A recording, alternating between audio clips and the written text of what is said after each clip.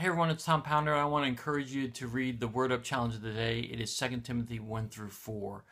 And I also want to encourage you to join me at 3 p.m. Eastern Time on Periscope. See, every Friday I do this thing for the online campus called Freedom Friday, where I take a passage and I reflect on it and I encourage you to meditate on it all weekend long to see what God teaches you. Well, today I'm going to take the Word Up Challenge, take a passage there, and I'm actually going to do this Freedom Friday live on Periscope. And the way you can find me is you can look me up on Twitter at TA Pounder or the online campus at NLCC underscore online.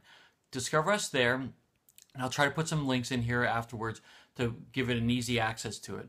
But discover us there and join us live for a reflection on the Word Up Challenge of the day for our little Freedom Friday live. All right, I hope you join us.